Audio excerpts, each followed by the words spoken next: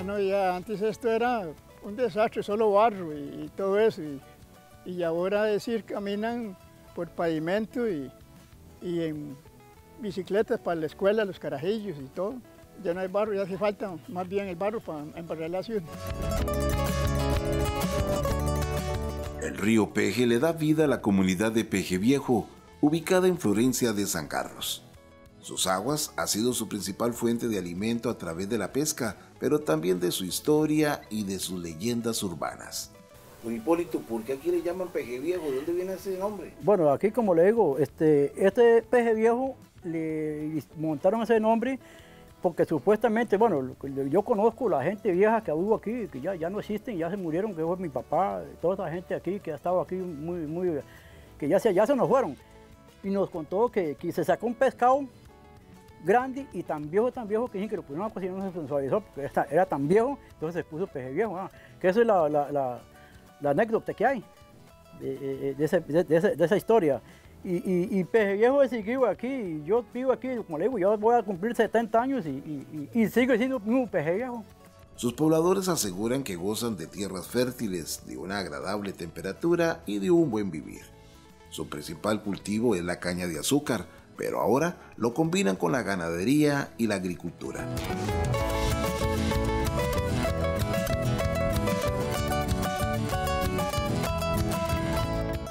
¿Le gustaría saborear una deliciosa tortilla palmeada en manos de doña Sofía Marín aquí en Viejo de Florencia?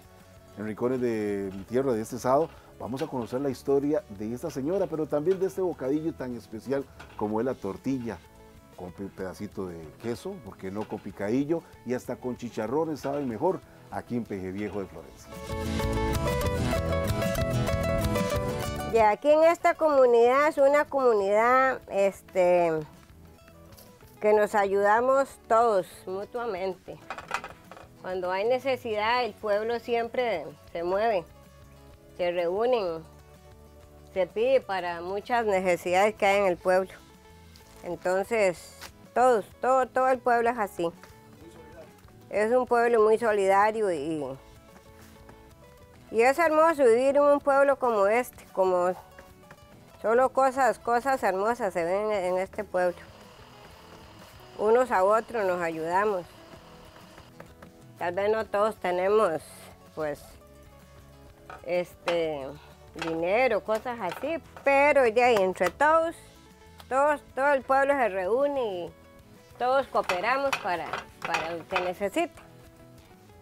Por eso siempre he dicho yo que este pueblo es un pueblo, un pueblo hermoso, que este pueblo yo no lo cambio por, por ningún otro pueblo. Entre las particularidades de Peje Viejo está la cantidad de plantas de chiles picantes que existen en sus rondas, pero también de su pulpería, la pulpería de la comunidad.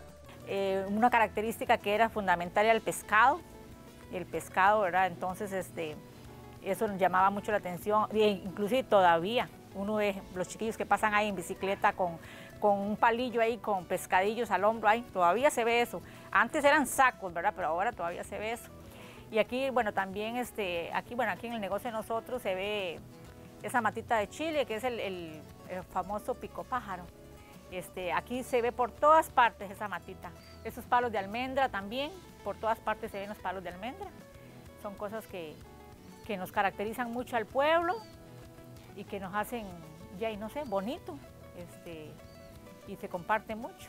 Los pobladores de Peje Viejo de Florencia aseguran que la comunidad tiene más de 100 años de haberse fundada. Tiene una población que supera las 200 personas y se considera un pueblo unido, respetuoso y muy solidario.